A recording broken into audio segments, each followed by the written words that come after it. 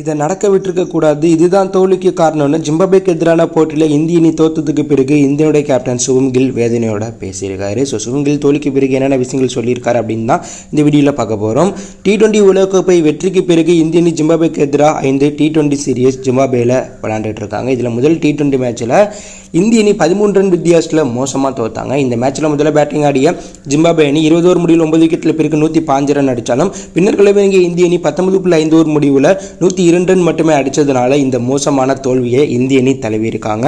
இதன் மூலம் உலகக்கோப்பை தோட்டத்துக்கு பிறகு விளாண்ட முதல் டி டுவெண்ட்டி மேட்ச்சில் இந்திய அணி தோத்து மோசமான சாதனை படைச்சிருக்காங்க. அதே போல் இந்த வருடம் இந்திய அணி தோக்கிற முதல் மேட்ச் இதுதான் இந்த தோல்விக்கு பிறகு பேசிய இந்தியனுடைய கேப்டன் சிவம் கில் நாங்கள் இந்த மேட்ச்சில் சிறந்த முறையில் பந்து மொத்தம் தான் வீசினோம். ஆனால் ஃபீல்டிங்கில் நாங்கள் நிறைய தவறு பண்ணோம்.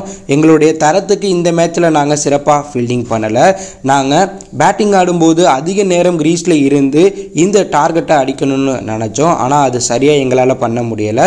இந்த இன்னிங்ஸ் பாதியில் நாங்கள் ஐந்து முக்கிய விக்கெட்டை இழந்திருந்தோம். ஒரு கட்டத்தில் நாங்கள் முக்கிய பேட்ஸ்மேன்களுடைய விக்கெட்டை இழந்து பவுலர்கள் நம்பி இருந்தோம். இந்த மேட்சை பொறுத்தவரையில் வாஷிங்டன் சுந்தர் கடைசி வரையும் போட்டியை எடுத்துகிட்டு போக ட்ரை பண்ணார். ஆனால் அவருக்கு இணையான ஒரு பேட்ஸ்மேன் இருந்திருந்தால் இந்த போட்டியை நாங்கள் ஜெயிச்சிருக்கலாம். இந்த இன்னிங்ஸில் நான் பெரிய தவறு பண்ணிட்டேன். நானும் ருத்ராஜ் கேட்வாலோ இந்த இன்னிங்ஸில் கடைசி வரையும் விளாண்டுருந்தா இந்த மேட்சை ஜெயிச்சிருக்கலாம். அதில் நான் அவுட் ஆனதை நினைக்கும் போது எனக்கு ரொம்பவே வருத்தமாக இருக்குது இந்த தோல்விக்கு நான் தான் காரணம். நான் கடைசி வரையும் கிரீஸில் இருந்திருந்தால் கண்டிப்பாக இந்த மேட்சை நாங்கள் ஜெயிச்சிருப்போம். நூற்றி பதினைந்து ரன்னை சேசிங் பண்ணும்போது நம்ம பொறுமையாக நிதானமாக டைம் எடுத்து விளாடலாம் ஆனால் அதை எங்கள் பேட்ஸ்மேன்கள் பண்ண தவறிட்டாங்க. மேலும் இந்த டார்கெட்டுக்கு பத்தாவது பேட்ஸ்மேன் களத்தில் இறங்குறதுங்கிறது நிச்சயம் ஏற்றுக்கொள்ள முடியாது.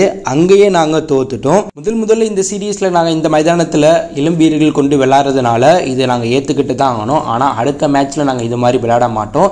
எங்களுடைய திறமையை அடுத்த மேட்ச்சில் நாங்கள் கண்டிப்பாக காட்டுவோம். இந்த சீரியஸை கண்டிப்பாக நாங்கள் ஒரு அணியாக செயல்பட்டு இது போல் தவறுகள் நடக்காமல் பார்த்துக்கிட்டு சிறப்பாக விளையாண்டு நாங்கள் கம்பாக் ஆகி சீரியஸை கைப்பற்றுவோம்.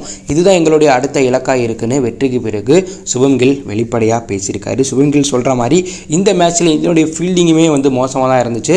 பேட்டிங் அதை விட மோசமாக இருந்துச்சு. சுபம்கில் ருத்ராஜ் கெட்வால் இல்லை. ரிங்கு சிங் போன்ற அனுபவம் வாய்ந்த வீரர்கள் கொஞ்சம் நேரம் கிரீஸில் இருந்திருந்தாலே இந்த மேட்சை ஈஸியாக முடிச்சிருக்கலாம். ஸோ இந்தியனுடைய தோல்வியை பற்றியும் சுபம்கிலுடைய இந்த ஸ்பீச்சை பற்றி நீங்கள் என்ன நினைக்கிறீங்க? இந்த சீரியஸை சுபம்கில் தலைமையிலான இந்திய அணி கைப்பற்றுவாங்களா? அப்படிங்கிற கருத்தை கமலில் பண்ணுங்கள்